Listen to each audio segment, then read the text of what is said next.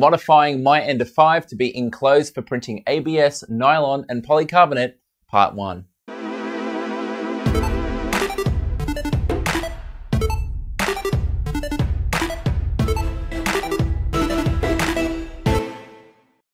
The Ender 5 from Creality is very similar to the Ender 3. It shares a lot of the same components. The main difference, of course, is that it has a cube frame and it has an extra 50 millimeters in build volume, putting it up to 300 millimeters.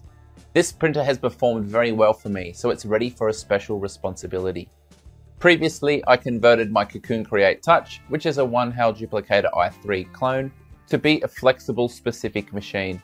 And my Tevo Tornado was set up to print fast with a large nozzle and direct drive extruder. I'm all about specificity, which is why this Ender 5 is going to be modified to suit filaments that need higher temperatures and enclosed and even heated build chamber. This is going to be a two-part series, and in this first part, we're doing the easy ones, the ones that don't require any firmware changes. Now I have previously covered for this printer, flashing a bootloader, flashing the newest Marlin firmware, as well as a BL Touch, and you'll find links to all of those in the description below. We're going to start by taking a closer look at these filaments and their requirements. A filament that a lot of people are familiar with is ABS, and compared to PLA, it needs much higher temperatures. We're talking normally around 250 for the extruder and a heated bed of 100. Nylon is a similar story. It needs a nozzle temperature all the way up to 270 and a heated bed of 120 degrees Celsius.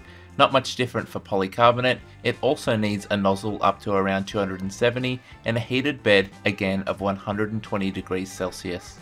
If we examine the specs of the Ender 5, we can see that it's only rated for 110 on the bed and 260 on the nozzle. So why is that? Firstly, the magnetic bed that's fitted to the Ender 3 Pro and the Ender 5. A lot of people say it's only good for 80 degrees. I've tested it up to 100 and it didn't seem to fail. Long term, it's best to avoid reaching its Curie temperature, which will render the magnet useless. Next, we have the hot end, and on the standard Creality design, the PTFE tube runs all the way down into the nozzle and therefore gets quite hot. PTFE is a plastic that emits harmful chemicals when exposed to high enough temperature. Therefore, this is a limiting factor.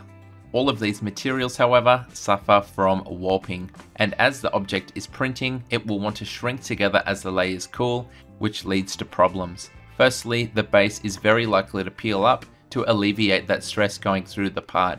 Secondly, it's likely to have the layers split, tearing the object apart along the layer lines, so clearly we need some changes to be specific for these filaments.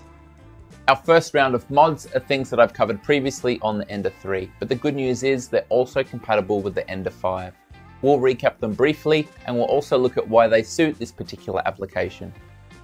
First up, we're addressing the nozzle with a Micro Swiss all metal hot end.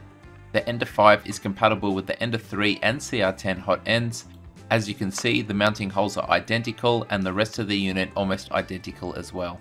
Here it is installed on the Ender 5. It's high quality and good for around 300 degrees. If you want detailed instructions, the link is in the description. Although the PTFE tube no longer goes down into the nozzle, I still changed it for Capricorn tubing. That's because Cap Tube claims to have the lowest friction of any Bowden tubing on the market. Once again, a full video on this is linked in the description.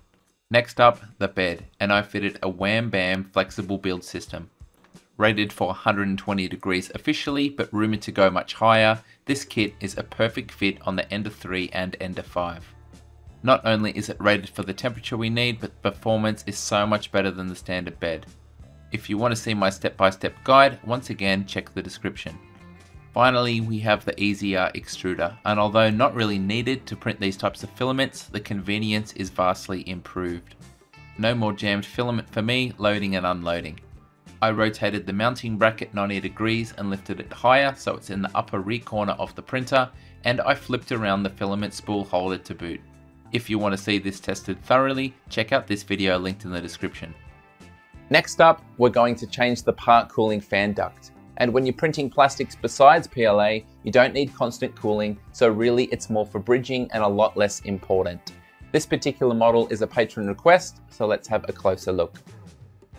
This is the Mistral E extruder cooling duct made for the Ender 3 but compatible with the Ender 5. Here's the standard and the Mistral E side by side, as you can see it extends further underneath the nozzle. I acetone smoothed my one for strength and to give it a slightly shinier appearance. Installation is a one minute job. Simply undo the two M2 screws holding on the standard duct, insert the new duct into place and reinsert those two mounting screws. As you can see it sits just the right amount above the tip of the nozzle. Time for a back-to-back -back water test. You'll see it turn on in a split second here and although the motion of the water increases, there's no real divot that you can see underneath. Now the Mistral E. Once again the water is swirling, but once the fan turns on, you can see a divot directly underneath the nozzle here in line with the red wiring. To test if this made any actual difference to print quality, I tried my cooling fan torture test. Here are the results side by side. On the bridging test underneath, I'd say it looks identical. The spire in the middle looks identical, just like the four overhangs on the outside of the model. Oh well, at least I know I haven't made it any worse. Next up, I decided to try out some bed braces, and a lot of people are concerned that the Ender 5 with its cantilever design for the bed is prone to saggage as the filament is deposited. I thought I'd test out these braces to see how much improvement I could actually measure. There were a few designs on Thingiverse, but this one had the best feedback in the comments, so I printed it out. This is a nightmare print for ABS, but the Wham Bam build surface did a fantastic job. As you can see, it only had a very minor lifting on one end. After it was completely cooled, it self-released just like glass. Very satisfying and easy to use. The quality of these parts in ABS on the Ender 5 was generally quite good, but on closer inspection there were some cracks in the exterior, just like we discussed at the start of this video. Therefore I decided to acetone smooth all of these to increase their strength and this had the desired effect, melting the cracks back together and even repairing one section that had completely snapped off when I accidentally dropped it on the ground. To complete some sort of objective testing, I set up a ruler and a camera to measure the deflection when specific weights were applied. I first measured with 1 kilogram and then a second 1 kilogram microplate before commencing my installation. These are pretty easy to fit, they push against the back bearing and then they rotate sideways clipping onto the underside of the bed. You then take the rear cap, put it into place and tighten up the 4 hex bolts until it's secure. Time to repeat the deflection test. Once again, without the camera moving, 1 kilogram and then another 1 kilogram plate. This is probably heavier than any object you would print on an Ender 5, but the testing makes for interesting viewing. When I take all of the individual frames and overlay them, you can see that deflection is around about half between standard and with the braces fitted. This one is definitely worthwhile. My final step for this installment was to put on this enclosure. Let me talk you through how I did it. I started by buying myself some clear plastic and here are the sizes that I've measured and cut. Most of these are forgiving because the acrylic is going to slot inside the V-slot extrusions. I also found this printable hinge design on Thingiverse and I printed out two of those. In each corner of the printer you need to undo the same two bolts. There's one from the top and one from the side and you need to remove them from all four corners. There's also two bolts that need to be removed on the top back of the printer, one on the left and one on the right and once these are done the entire top part of the frame should be loose and be able to be removed from the printer. We're not removing it completely however, rather we're setting it aside so we can test fit our acrylic pieces. They should now simply slide down from the top, ready to mark out and measure holes which we can see on the rear there is one in the top left.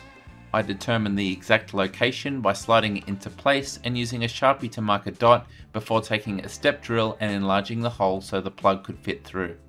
The next time you slide down the plastic sheet, the hole should be there so once it's in the base, Simply take your loom that you've unplugged, feed it through the hole and plug it back into position.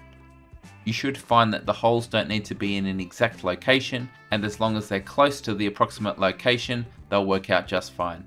The left hand panel is super easy because we don't need to drill any holes, but on the right hand side it's a different story. We have four and it's very easy to miss the one in the lower left for the LCD ribbon cable. Now we can turn our attention to doing the hinge on the front and you'll need some spare T-slot nuts. I had some M5 laying around and I used them to attach the upper and lower parts of each hinge to the printer first. I could then introduce the center part of the hinge that bolts onto the door and slide through a long M5 bolt that was going to act as my hinge pin. Repeat for the second hinge and then measure and make sure they're the same distance from the top and bottom so it looks symmetrical. You can now take your front door piece of acrylic and it's designed to be a fit just inside the frame. This next part's really delicate, but you have to juggle it to get it into place and then support it from the rear as you drill through a hole for where the screw is going to attach. I used washers and lock nuts to make sure that it doesn't vibrate loose and was quite satisfied by the smooth hinge motion and the flush appearance on the front.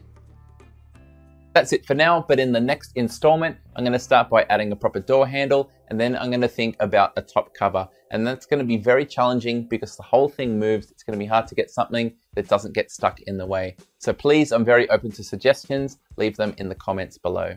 In the next video, we're also going to change the main board and we're going to look at adding a chamber heater on the inside. Thank you so much for watching and until next time, happy 3D printing.